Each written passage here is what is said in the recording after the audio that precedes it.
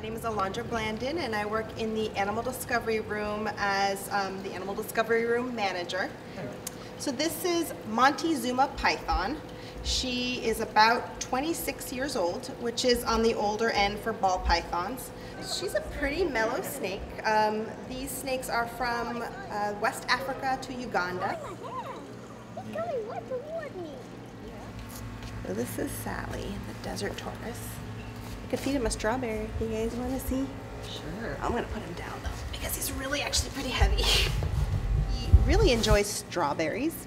And if he ever sees anybody with has nail polish that's kind of red or something like that, he always goes over and he sniffs very loudly to before he realizes it's not a strawberry.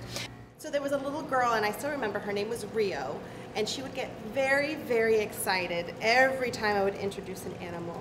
And she would like shake like this, and then she would gently pet. But she, I mean, she did it in such a way, and her little face was so excited. I'll go outside. What's this one? See if this one rolls. We're rolling over. You know, even though many a times they, they say, I'm not going to do it, and they almost always do um, once they touch a few other animals or see me touch it.